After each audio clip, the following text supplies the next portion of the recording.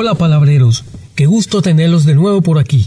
Esta vez hablaremos sobre el por qué debemos quedarnos en casa para cuidarnos del coronavirus, con un cuento hecho por Dalmaus. Y más adelante les daré 30 actividades para niños y padres que pueden hacer en casa en estos días de aislamiento más un libro para que puedas colorear.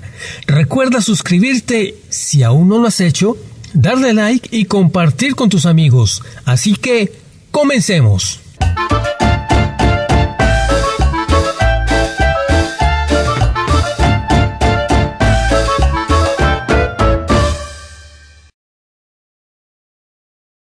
Misión Quedarse en casa. Hola, soy el planeta Tierra y este es un mensaje para ti y para todos los niños del mundo. Te necesito. Tengo el coronavirus, una especie de resfriado muy, muy fuerte que se pasa entre personas. Y la única manera de cuidarnos entre todos es que te quedes en casa para que este resfriado raro no tenga con quién jugar y se vaya. ¿Me ayudas?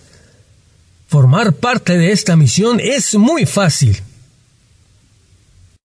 Tienes que rellenar cada día un papel certificado como este con todo lo que has hecho y aprendido en casa. ¿Hecho? Mucha suerte en esta misión. Confío en ti. Misión cumplida. Nos has salvado. Ponle tu nombre. Esta medalla es tuya. Te la ganaste. En la caja de descripción dejo este cuento. Misión quedarse en casa para que lo puedas colorear y puedas imprimir el documento planetario y lo llenes todos los días que vas a estar aislado, escribiendo las actividades que haces durante el día Igualmente puedes imprimir la medalla, colocarle tu nombre y colgártela en tu pecho para cuando hayas cumplido la misión, que espero sea muy pronto. También te dejo en la caja de descripción 30 actividades que puedes realizar con tus padres los días que vas a estar cuidándote en casa. Son fáciles y diferentes. Manualidades, experimentos, cocina y ecología con materiales que puedes conseguir muy fácil. Viene con índice de actividades separados por colores según el tema.